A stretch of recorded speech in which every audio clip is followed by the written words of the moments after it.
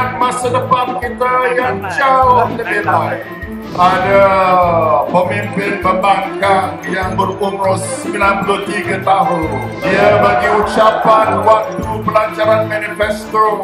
Kami tak kisah masa depan, kami nak sekarang ini.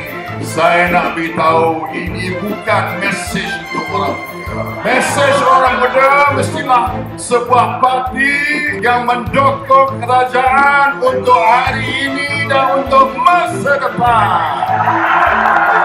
Kita bukan parti untuk generasi hari ini sahaja. Kita adalah parti untuk masa depan dan generasi yang akan datang. Dalam manifesto kita, kita akan masukkan satu bab khusus untuk orang muda.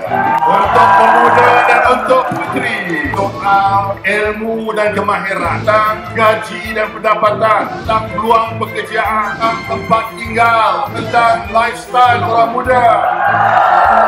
Semuanya kita akan masukkan dalam manifesto. Yeah. Ini semua kita buat untuk orang